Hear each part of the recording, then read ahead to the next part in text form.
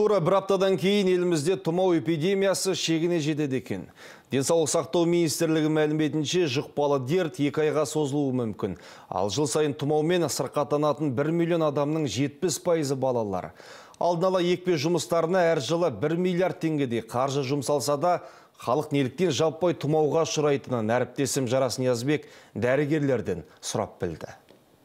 Бес жасар Емир балалар ауруханасына үш күн бұрын жедел жәрдем көлігімен жеткізілген. Дене қызуы 40 градустан асып, жағдайы нашарлап кетті. Тіпті қызуы көтерілсе де үйінде бірнеше күн жатып қалған. Апасының айтуынша Емир тұмауға қарсы екпе салдырыпты. былай сыртқа көп шығып кетеді да ана қыдырып келеді Та- таразға барады сол басқа жақтарға семейге барады өзінің мамасының төркініне сол сондай жол сапарында сондай жағдайлар болады Ал алматылық Света Елемесова өзі медбике болса да баласының ауруына асқындырып алғанын мойындайды. Әуелі тамағы ауырып бастаған ұлына түрлі ем-домды үйде жасапты. өзім үйде аузын шайып емдеп укол салып система қойып кішкене суды іше алмай қатты ауырып қалды содан кеше понедельниктен бастап аяғы осложнение беріп ангинадан аяғын қолын баса алмай қол аяғы ісіп сосын скорыймен осы жаққа алып келді Алматыдағы балалар жұқпалы аурулар ауруханасында 200 бала тұмауға шалдығып емделуде. Бұл сан жақын арада артуы мүмкін дейді дәрігерлер. Ал балаларға вирусты дерт көбіне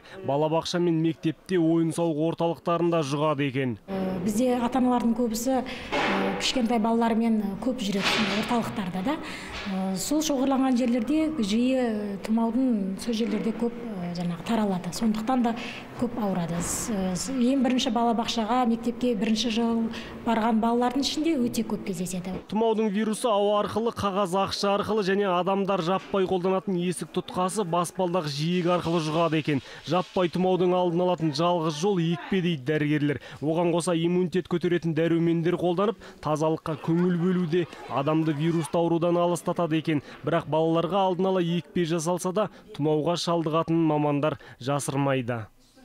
Жарас Ниязбек, Ринат Абулхаиров, Информбюро, Алматы.